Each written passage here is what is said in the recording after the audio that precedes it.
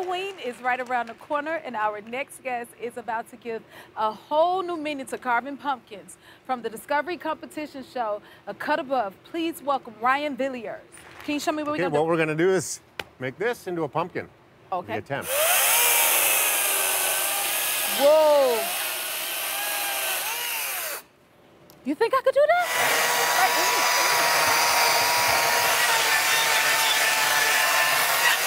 Does it look like something yet? Yeah, I need some help, Ryan. ooh, ooh, ooh, I was spraying the wrong way. Y'all didn't, y'all didn't see that. Hold on. Wait, this is my pumpkin, and art, you know, it's an expression, right? You could do it how you choose. There's no Did I get all for the corners? Yours is great and all. Mine is great and This all. is no. you, it is awesome. Do you?